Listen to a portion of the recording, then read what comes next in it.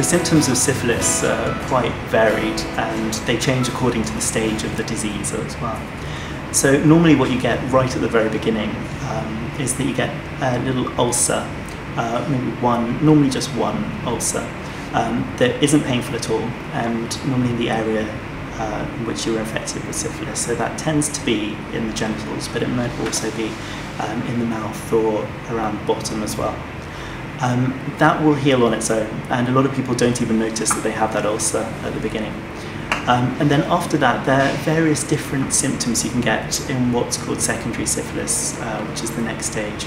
So the one that's most obvious is a rash that um, covers most of your body and typically covers the palms and the soles of your feet as well, which is what makes it a bit different to a lot of other rashes you can get.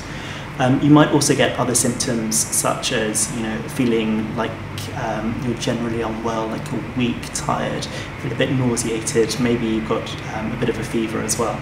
Um, so apart from the rash, they're all fairly non-specific, and you might not attribute them to syphilis if you're not really thinking about it. Um, but then after a while, those symptoms will go away as well.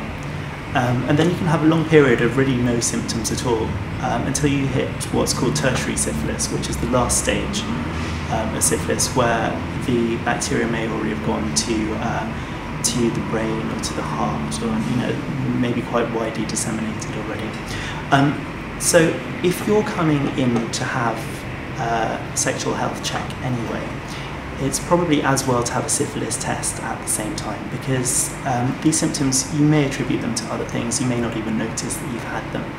Um, and it's, you know, it's no more needles, it's just the same uh, tubes of blood, they just get sent off for one extra test. Um, and it's one of those things that's good to pick up early because you can be infectious for about two years after you've, um, after you've caught syphilis. And it's not something that you really want to pass on to your partners.